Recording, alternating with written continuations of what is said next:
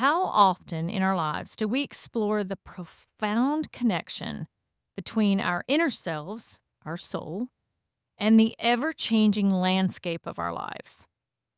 Life can be surprising at times, and sometimes the whiplash of these unexpected changes can often send shockwaves down to the core of our being. So, how does our soul respond to these shocks? And what happens to our sense of identity in the process? Well, today on the show, we're going to explore a personal narrative with a friend you and I have grown to love over the past six months as he shares his own experiences of adjustment during times of change. The reflection and growth, I must say, is pretty profound as he shares how he has coped and even learned how to thrive in the face of life altering shifts. Join us as we share insights about navigating soul shocks and finding the strength to adapt to life's inevitable changes. It's a captivating conversation that I promise will leave you thinking a bit more about how we respond to change. Let's start a conversation, shall we? Oh, we got to talk about that. Life is going to get messy. If we're going down, put your mask on first before you can help anyone else. As we feel more established, we do start to look around and, and ask these kinds of questions. Welcome to Unconditionally Her Conversations, a podcast for women that sets the stage to spark inspiration, create change, and unite women from all walks of life. I'm your host, Karen Shane. This podcast shares that when we truly come together in sisterhood, we form a symphony of profound voices that have the power to transform each other's lives. So, whether you're in search for motivation to chase your dreams, or seeking wisdom to navigate life's twists and turns, or just simply yearning to connect with some kindred spirits, well, you found the place. Come along on this empowering journey as we explore captivating stories conquer daunting challenges, and revel in the inspiring triumphs that shape the landscape of women's lives. Are you ready? Here we go. Hi, everyone, and welcome back. And welcome back to an old friend who has had amazing things happen in his life. And you have had the privilege to meet over the past several months. Carl Gibson is here, and we are once again hanging out in beautiful downtown Dahlonega, Georgia, on yet another mission that we're going to kind of share with you all later in the podcast. But for now, Carl, how you doing? Hi, I'm doing great, Karen. How are you been? We got the Kleenex here. Oh Lord, let's hope we don't have to use those. I don't know. We are in the pastor's office where your world changed. Yep, there comes the tears. I can see. I can see you welling up already. You done got me started, and when you got started, so yeah. For those who don't know Carl, I would like to ask that you stop this podcast and take a listen to season one with the episode with Carl that we call My First Breath. The episode is centered around Carl's short film, also entitled My First Breath The Story of Carl Gibson, which is a deeply personal account of how this amazing man's life, once consumed by the dark abyss of drug addiction, found faith, perseverance, and an unwavering determination to restore his family and completely. And when I say completely, folks, you have to know complete is a big word here when I say completely changed his life. And this remarkable story of redemption, transformation, and the power of faith just continued on this week. Again, that's a little teaser, Carl, for what we're going to talk about later on. But you don't want to miss it. No, but this is all about uh, the power of faith in someone's life. But again, we'll share more about that. But people who saw the short, who also heard the podcast that we did last, or I guess it was fall of 2023, realized how your life completely changed. And you asked me a couple of months ago if we could gather together again to talk about being soul shocked.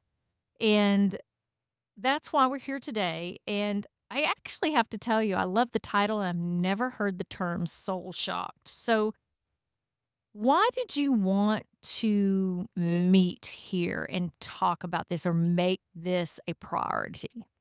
I think uh, a lot of people don't even realize at times that their soul is being shocked. And it could come in many forms. I mean, it could come in joyful forms. It could come in grieving forms. It it can come in, in so many forms, but uh, and we not even realize what we're going through. And it does shock our foundation of our human being. And uh, and I think if we can give a little insight on how to navigate that and and to be able to just adapt to those those shocks of our soul, you know. The whole changes what where life throws you a curveball Absolutely.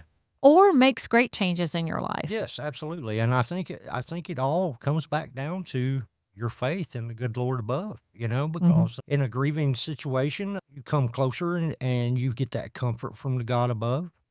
And in the joyful moments, you're praising Him for those blessings that He has just carried into your life. It's just like that breath we just took, Mhm. that came from Him. We don't deserve that. And we don't stop and realize. And when we take those things for granted, I think it just brings us back into relationship with the good Lord above. Well, let's talk just a couple of minutes about your story for those who don't know what you have been through. You, oh, wow, we could start unpacking all of this, but truthfully, those, again, I'm going to tell everybody if you don't know Carl's story, stop and go back and listen to the fall 2023 My First Breath episode on in season one and you were a drug addict and you started at an extremely early age and it just spiraled your life to a certain place. Yes, uh, you know, like you said, I was a very young young boy. I started at age of seven, huffing gas, and it progressed from there. And it's been uh, it's been quite a journey, quite a journey. And to uh, to be even sitting here today with you and doing this podcast, that's a blessing because I shouldn't be here today. You know. You know what? And the more that we delve into your story, and again, this is a teaser for later on in the podcast when we make, you know, have some conversations, but your life has been remarkable. I truly do not know how you are sitting here with me today, starting at such a young age, huffing gas, then getting into the hardcore drugs, then spiraling and becoming a father and becoming a husband and going through all that you've gone through and yet you still stayed on drugs and then an incredible transformation happened to you and I and I have to tell people who are listening right now we are sitting in the space that Carl's life completely changed. We're actually sitting in the office uh, sitting in the office at Dahlonega Baptist Church where you walked in and said I have lost everything. Everything that I have ever known and have ever wanted in my life is now gone due to drug addiction. I don't know how to get that back. And a beautiful man named by the name of Bill Hutchinson, who was pastor of Dahlonega Baptist Church at the time, really led you to Jesus right here, right here at this space and where we're sitting. You walked out of these church doors and your life completely changed. You put your family back together. You restored a relationship with your son, which was devastatingly broken, and your wife. And in the process, a baby girl came along. And your story is just insanely impactful and beautiful. And through all of this, when you came to me and we began to talk about this podcast and you talked about becoming soul shocked, I think the whole definition behind this is that not only, no matter again where you are in life, whether it's joy or whether it's tragedy, you have to be able to adapt. And you learned an amazing ability to adapt in the moments of those times. So I want to know when you walked out of these doors and you were known in this town as a drug addict, you had, there was, n- uh, it- it- you know, pardon me for saying all this, but it's true. And if you watch the short film, you know, No one had respect for you. You were absolutely a disaster walking. And you walked out of this church and your life was changed. Tell me about that moment that shocked your soul. I think a change, any kind of change, shocks the soul. When I did walk out of these doors, I think that was really when I started beginning to live life. And I think the years prior was me wandering, sort of in the wilderness, if that makes sense. I was still trying to find myself in all those years because I had neglected to even get to know myself. And I self medicated with drugs. I was throwing a needle in my arm for eight and 10 times a day just to stay numb to life because I never knew how to deal with life. And when life would throw those soul shocks to me, I didn't know how to deal with those. And so only way I knew how to deal was with drugs. And that's what I did. But when I walked out of these doors, my new life started at that point. I had to learn to live the right way because I hadn't been living the right way before. And uh, it took some time to, to, to adjust, to adapt. But I refused to stay stuck in the mud. Sometimes when your life is and your soul is shocked, we like to stay stagnant, if that makes sense. A lot of times we don't like to deal with it, you know, we try to avoid the change in our life. But some things we just can't avoid. You've got to adapt. And that's what I had to do when I walked out of these doors that day in, in 2009, you know? And, uh, and it's, it's a constant change in life. And you just learn the best you can and depend on your faith and grow and to adapt. It, it's been tough, but it's been enjoyable one of the things that I have learned through doing this short film with you is that you really had to overcome so much and you had to persevere with people knowing who you were and yet your soul is trying to adapt to this new person. But there was your past that kept up with you and i have to tell this story. Um, when we were doing this short film Kia with Coexist, my business partner, and Tyler were in the car. And we were going to what you termed as your depths of hell, which was back in your past. And we were in the car, and Kia is Canadian, everyone. And we were, we got in the car, and you had a gun in your car, and um, didn't bother Tyler, didn't bother me. And Kia was like kind of flipping out. And she was like, "Oh my gosh, oh my gosh, am, am I going to be canceled in Canada? Is this is just weird?" And I said, "Carl, why do we have a a gun in the car?" And you said, "Just in case we drive up on my past." And I remember that, and it was like Kia just went, "Oh, okay, I get it." So, as you are going out to this massive change in 2009 and you are this new person, there are so many people in this town that knew you as not that person you are. And the this switch that was flipped was for you, but not for them. And you had to face that head on. And so those who are going through a time of change and whether it be a death or a divorce or a marriage or a something another that they're going through, when your soul gets shocked, you still have to deal with looking over your shoulder, but you kept going. And that's what I love about you. You never looked back, and it was hard. So let's go there. I was doing it for myself, first of all. In 2009, when I come to know the Lord, I had to fix Carl. I couldn't fix my family. I couldn't restore the, that time. And so I had to work on me. I had to change the person that I was. And I didn't want to be that person, the old Carl. And uh, that took a long time to adjust to because you get into habits of things and it just comes natural to you. And a lot of those I had to stop. I would find myself leading me myself back to my past. And then I had to, whoa, this this is not me anymore, you know? And so I had to adjust and I had to adapt to my new life. I had to cut a lot of people off that I loved dearly due to them still being users because they were family as well. And that was tough because I had to cut all ties and uh, but it wasn't because of themselves.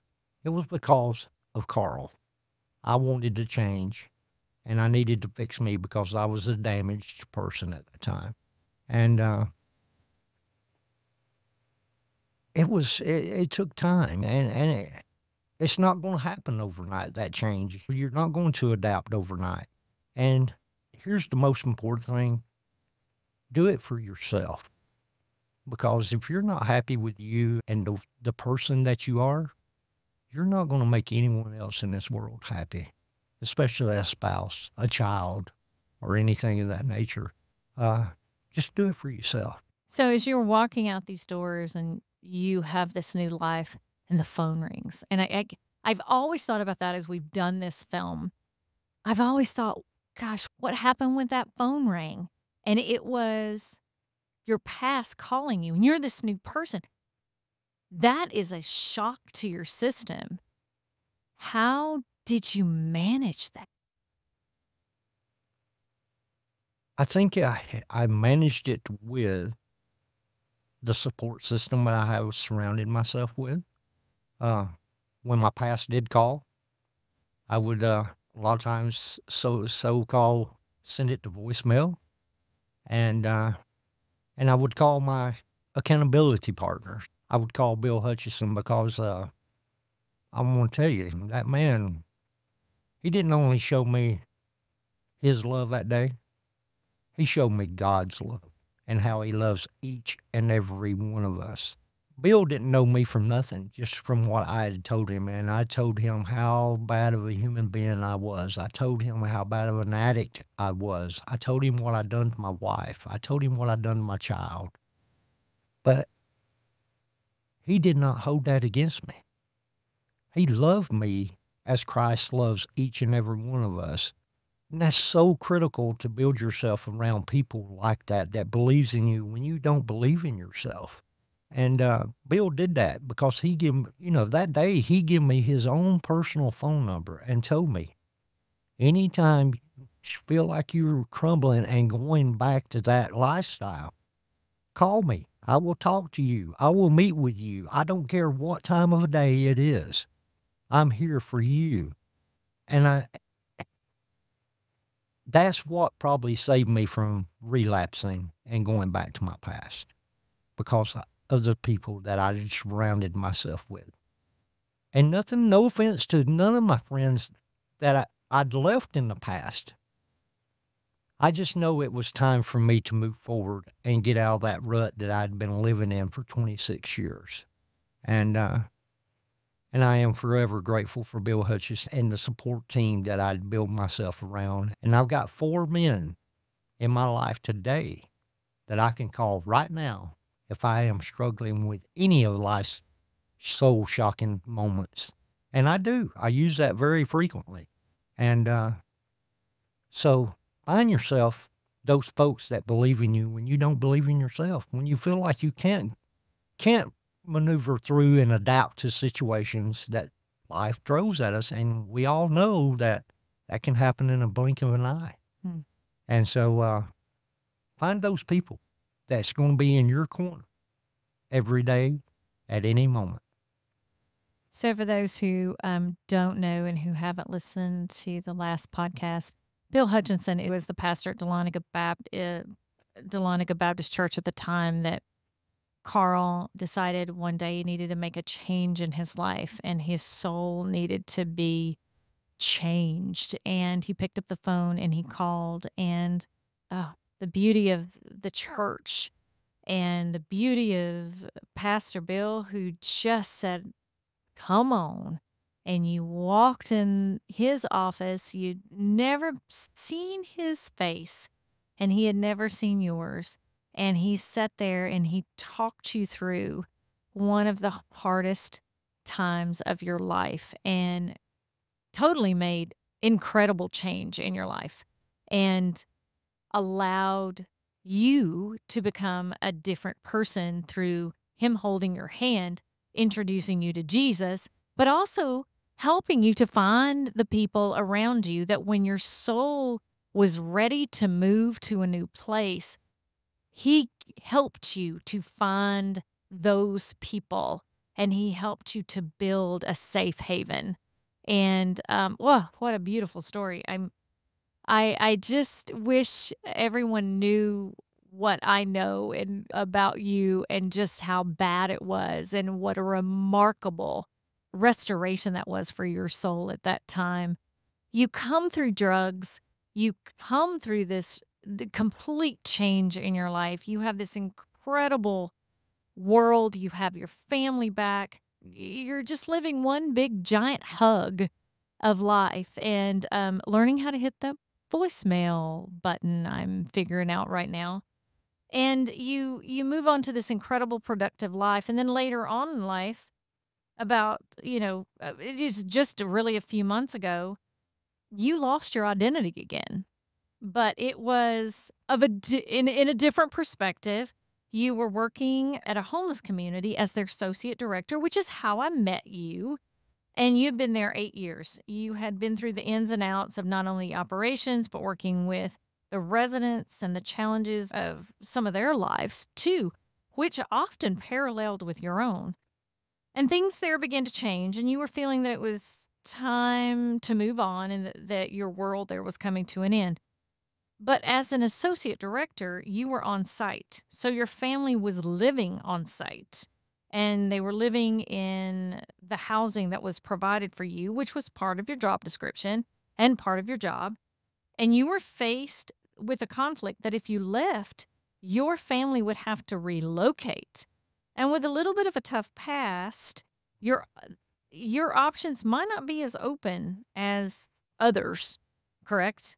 And then something amazing happened and yet another God thing happened where you were given a home. And you had this gorgeous home and you're transitioning from a job that everyone had known you in the community for so many years and you were excited about being a part of that particular community but yet when you left you had that identity crisis you had to let go of an old wow i, I i'm as, as i'm sitting here talking to you i'm just reliving that with you through the film, but you had to let go of that identity and let go of that life. And you had to reinvent yourself again. So you were challenged with a second time of reinventing yourself. Tell me what that was like. Well, I'm still in that process, Karen. Uh, I'm still still wondering a little bit and trying to find that identity, but we don't know what the future holds for us. And that's where my faith comes into effect again. I give it all to God. I know He knows what's best for me and my family. And He has done that in the past with the home we were gifted with. Just an amazing story behind all that. But I'm still in that process. And I know I will figure it out soon. And so I'm adapting. I'm being human right now. And here's the good thing about it is I am dealing with this in a healthy way. Mm-hmm. I'm not using drugs. I'm not sticking a needle in my arm to run from this problem. And I don't call it a problem. I call this a blessing in, disi- in disguise uh, because uh, my time was done there where I worked at. I truly felt that in my heart. I'd uh, carried that torch as far as I could. And so uh, it was time for me to transition out. And uh, did I know what my plans were? Absolutely not. But that's, again, where I have faith in my good Lord above because I prayed and I prayed and I prayed. You've got to help me. You've got to help me with this. I have I've run out of options and kind of thing. And and next thing you know, I'm meeting with a gentleman in the foyer of a church, and he says, "I've got a home for you if you want it." And uh, wow, you you just can't you can't make this stuff up. You know, it, it, you really can. I mean, and it's, and again, I, I'm still adapting. I really am, and uh, but I'm doing it in a healthy way, and uh, stand firm on your faith. If you believe, do you truly believe? You kind of thing. And uh, and God's going to provide. Who knows what He's going to do in the future of my life? Because the last six months has been it's been really crazy, and it's been overwhelming blessings left and right. But it's been challenges too. And I've watched you go through them because not everybody's job is connected to a home Right. that you live in. And then when you are gifted a home, you have to leave your job. I mean, Carl, you're so unique and such a testimony of faith on every level. I mean, you've just gone through getting yourself totally clean and becoming a pillar of this community. Your job was attached to a home. Your home was completely ripped out from under you when you had to leave. But that's so shocking. That is. And to the average person, I'm not sure folks can adapt. And so, how do you, other than faith, how do people embrace this change and not get all in the muddle of, oh my stars, what am I going to do? Oh my stars, how do I deal with this? And and how do they they find that identity? Because it is about finding your identity of who you want to be. I think it has got a lot to do with the people that surrounded me Mhm. and that believes in me and loves me and my family. And again, that support system comes back into effect at that time because, you know, if you got multiple people in your life that you can reach out to, you get different perspectives of their life. They may have went through these kind of things these kind of soul shocking moments the four men that I have in my life, they're quite older than I am. They've probably got 20 years, 10, 15 years on me. And so, uh, even though I lived that crazy, stupid, wild lifestyle for so many years, these gentlemen bring something else to the table. And that's what's so crucial about a support system, you know? Build yourself around people that different aspects from a pastor, from a counselor's point of view, from someone that worked for a power company for so many years. They bring different perspectives, and you can take those when you reach out to each one of those, and you can apply those to your life. Mm-hmm. And and and then again, you know, faith keeps coming back into effect. Read the good word, because you know what, you don't have to worry about today. I've got you took care of, he tells us in the Bible. You don't have to worry about clothing. You don't have to worry about food. You don't have to worry about shelter. I will provide those things for you. Just pick up your cross daily and follow me. And I think that's that's crucial. And and if you doesn't if you don't believe in that, you might need to read a little deeper, you know, kind of thing. And again, that support system is so so critical to have someone there that you can reach out to and talk to about those soul shocking moments that they may have lived because uh, that input's very critical in your life and and that's exactly what I've done. I've used those people.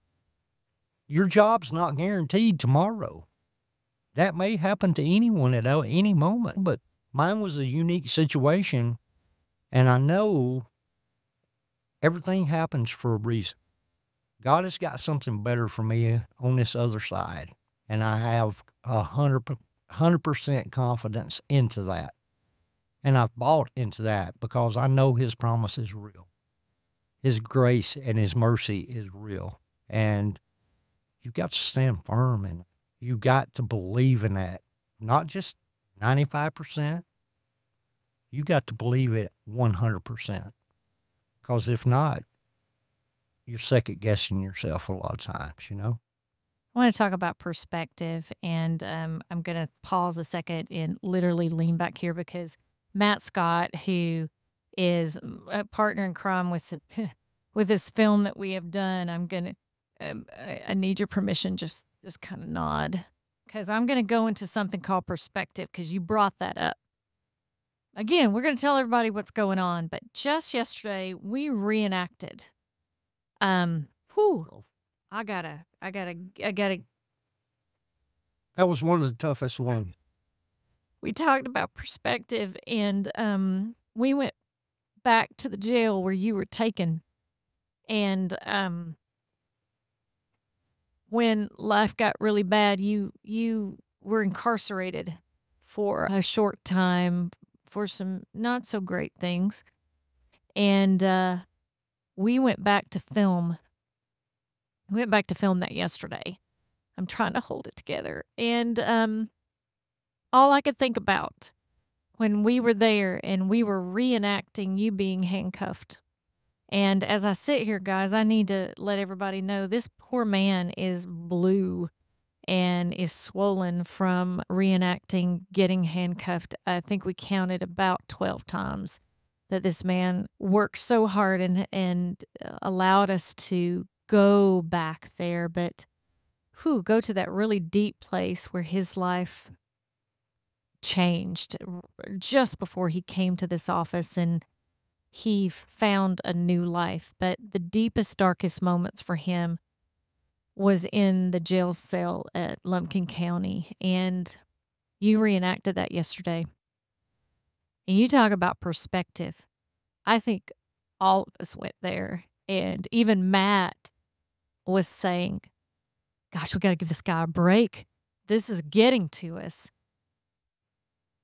But it's those moments that changed you, and it's that time, and it's that space of the deep, dark places that really help define who you are. And it gives you a unique perspective on life.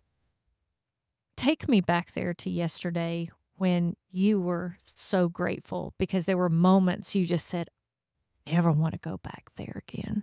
Yesterday, we reenacted a time in my life that I'm not very proud of. It was tough uh, because if you've never been handcuffed, uh, that shocks your soul. And that's one of those bad shocks, you know? Uh, but I know through all this and re- the reenacting, if I can give that one person that hope and the know-how to that it's possible to recover, to get out of those old lifestyles and to change yourself. Uh, and that's, you know, yesterday was, it, it was sort of like therapy. And I've told you that. I've told you that. You know, I've, I've been taking these this week and, and even the short film. Um, I've been processing these little moments that we file away in the back of our heads and uh, we don't want to deal with, but uh, it's time for me to deal with those moments. And the most important thing is to forgive myself for those moments that I'd caused my family all that hurt. So it's been like a little bit of therapy for me this week, and and I've. Uh, is it all good? Absolutely, it's good. Uh, is it tough? Absolutely, again, you know, and uh, but perspective. I knew I was getting to go home yesterday afternoon. I wasn't going to be spending the night in that cell that's a different perspective than someone that's being incarcerated, knowing that they're going to have to have their meal there in that cold, dark jail cell. That brings reality, you know. Uh, yesterday was a reality check, but at the same time, I was proud of myself because I came from that jail cell to the man I am today. And that's been a hard road. That's been a hard road because I have had to repair myself and the relationships of people that through this community because I've lived here most of my life. And there's people with different perspectives of Carl. I was that mean dopehead drug dealer that would stab you in the back in a heartbeat person to the man I am today that you can depend on, that you can call on, that will talk you through any troubles that you have to give you hope, to give you tomorrow, you know, and, that, and that's just the person I am, and that's the way God does you. He doesn't just change one little bit of you. He changes everything, you know? And uh and I just want people to know that they can depend on me. If someone's struggling, they're more than welcome to reach out to me and I will do my best to talk them through any struggles in life. Because you know what? I am 50 years old. I'm young, but I have dealt with a lot of life. And, and a lot of it was self inflicted, but I have dealt with about just about anything you can get thrown at you. And, uh, and guess what? With the help of people in my life, I have conquered those. So, Someone asked me to define you. oh, Lord. Before they saw the short film, someone asked me, um, uh, who never met you, they just heard me talking, asked me, said, "How do you, how do you describe Carl?" And I said, "He's authentic." But being soul shocked is what you hear. See, whether it's been changing a job or defeating drugs or having to turn your back and hit that voicemail, you are the most authentic individual I have ever met. So to someone who's going through just something minor that has come upon them that that has shocked their soul, how do you feel like perspective and authenticity can come of these deep moments? Because sometimes they're dark. Yes, they are. Yes, they are. And uh, don't give up. Don't give up. You know, uh, you may have a storm in your life, but we all know what's happening after the storm is over, and it's the beauty of the sun coming out, the birds are chirping, the glistening of the, the rain on the on on the leaves. You know, just know that tomorrow it can be better, and as long as you stay positive, and that's easy for anyone that's not going through the storm to say, but stay positive and know there's always tomorrow that you can conquer this. And uh, believe in yourself. Believe in yourself. Don't ever doubt yourself because when you put your mind to it, there is nothing in this world you cannot do. And uh, trust me, I used to not believe in myself a lot. I didn't even know who I was for many, many years. I was, like I said in the beginning, I was wandering through the wilderness and trying to find my true identity. And, and it wasn't until 2009 I started finding that true identity. And, uh, and I'm still learning that today. But mainly, just do not, do not give up on yourself. Do not. I think it's so important because again, we've we reiterate I reiterate this. It not everyone has had the life that you have had and the life that you have had to overcome, and yet the life you have built for yourself, as well as your family, which is your an amazing wife, your incredible son. Holy moly, this son is just Hero. Ah, we could talk about that all day long. And then your beautiful daughter. And it's no one has probably gone through the depths that you have gone through, but somebody out there is hurting. Yes. And that is what I just want them to know. And you are a living and breathing testimony of grace, resilience, determination, change, and how that truly letting go and let God and finding your path can be for anyone who is on the planet today, literally. And I know you well. I do know you well. And your thoughts are always purposeful. And we may kid around and you may be just a fun loving, crazy guy at times, but there's a purpose in your walk, and that's evident. And I see it in your eyes that you are speaking to several people out there right now. And in the chance that they're listening, what is your message in this soul shocked podcast that you want them to know? I think, first of all, I just want people to know hold on to hope. Hold on to knowing that your situation isn't permanent. Some things are permanent in life, but that's where we learn to navigate and we adapt to those things.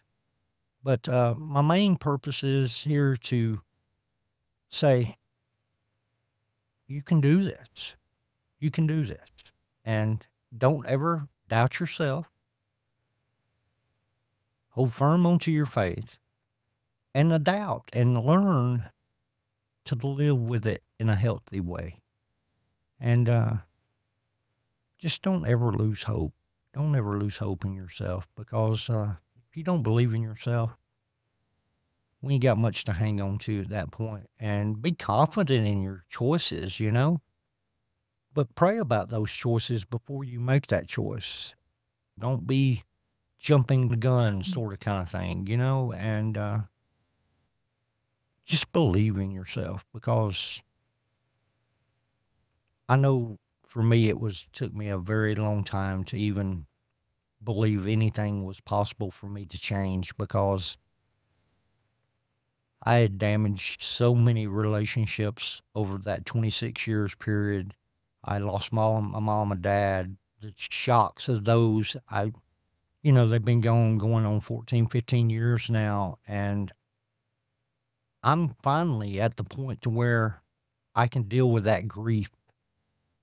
And I think it's because I have learned to deal with things in a healthy manner. And uh and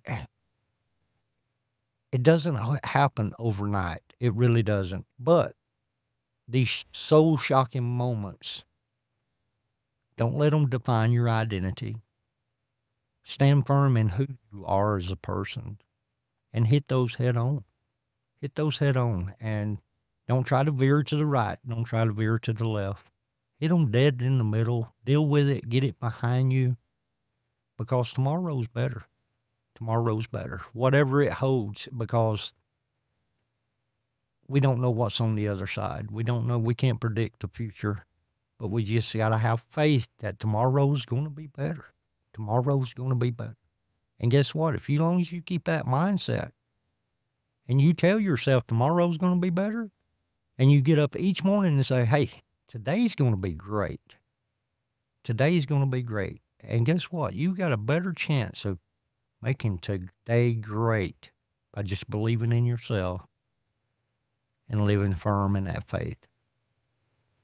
You know, we teased at the beginning of this podcast at, about some really cool stuff happening right now, and we kind of gave it away a little bit with the handcuffs. But by the time this podcast airs, we will have completed the filming, which just happened today, and we'll be close to completing, right, Matt? Be close or completely done with a full feature on your life. And that's because we had such an incredible response to the short and people wanting to know more about your story and more about who you are and more about the soul shocked moments of your life. And we had to leave out so much in the original film um, that was back in fall of 2023.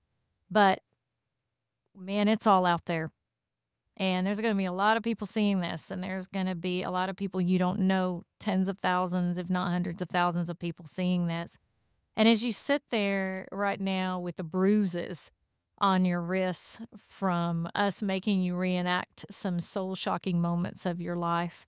What are you feeling right now? I'm happy. Because I know. through all this feeling, through all this pain that I'm having to revisit, all this hurt that, you know, because it was hard for me in the beginning to forgive myself. And I'm still in the process of that, you know, today because uh, I know for myself it's hard for me to treat anyone bad but it used not to be for me. And uh, for me to forgive myself for the things that I've done to people in my life that I'd encountered over the years has been really hard. But you know what? I know through this film, it's going to reach that one soul, that one soul that I've been telling you that I've been wanting to help. And I hope it's thousands. I hope it's tens of thousands of people that hears it and knows there's hope, that there is a way to change your life to recovery and through recovery. But I'm overwhelmed with joy and blessings because I know it's going to help that one soul. And I can't wait for for it just to happen to that soul. I, do I need to know that person? Absolutely not. That's not my place. Because you know as much as I do we're doing this all for the glory of God. You know, you say it's the story of Carl Gibson. It's actually not Carl Gibson's story. This is God's story. I'm just a character in his writings. And you know what? Uh, uh, I truly believe when you came to me and I came to you, this was God's will. He lined this up perfectly because you know what? This is going to change lives that needs to be changed and it's going to be beautiful. I know it is. I know it is. I fully, fully believe that in my heart. And I, I am forever grateful for you, for God to even bring you into my life, even though I wasn't going to give you a chance when I first met you. That's in that episode earlier, just to let everyone know and bringing Matt Scott in my life, Kia Naka, and then Tyler Goins as well. What an amazing production team y'all are. Y'all have blessed me and my family, and and I can sit and look at you today and truly say you're not only my friend, you're my sister, and uh, I love you so much. I love Matt. I love Tyler. I love Kia, and uh, man, I'm telling you what, God has just showed out with the people he's put in my life. And uh, anyone out there listening, he can do the same thing for you. I promise. I promise. You can take my word at 100% there because, but here's the key thing you've got to be receptive. You've got to want change. It starts with you, and ultimately it finishes with. I am so blown away by what you said. And to wrap up, I need you to know how much I love you. I met you in um, 2021, and my life has never been the same. And um, I always said, and I mean that, that I need you to know this from the bottom of my heart. You have brought forth a witness of transformation and resilience and grace and faith to the table. And you are an inspiration to me. And i i have said this and i will say it again. If jesus walked through those doors today and he looked me square in the face and he said i will give you any person on this earth you want as a brother I'd pick you. I love it. I love you too, Carl Gibson. Thank you for being here. Thank you for having me. And for those who didn't listen to didn't listen to the previous podcast, please go back and listen. It is uh, you don't want to miss it, folks. You don't want to miss it. The film's coming out soon, and um, I will tell you, it is life changing. And it's going to be remarkable. And there's going to be many lives changed. That is true. Thank you for being here. And go Vols. Just go Vols. And just to let you know, I would pick you over Peyton Manning. It would be hard, but I would pick you over Peyton Manning. It's it's interesting. Well, look. Yeah, I still got to think about that Peyton comment. I, I, I don't know. Okay, we're wrapping. We're wrapping. It's a wrap. Want more inspirational articles and stories, or maybe even a recipe or two for the fam? Head on over to unconditionallyher.com and just say hi. Until next time, ladies, be blessed, be inspired, be empowered, and always be unconditionally you.